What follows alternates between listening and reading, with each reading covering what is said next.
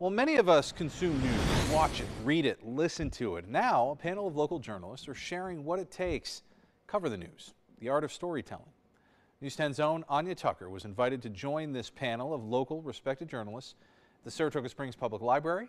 The group sharing their insights into news gathering, ethical journalism, working within the communities they live.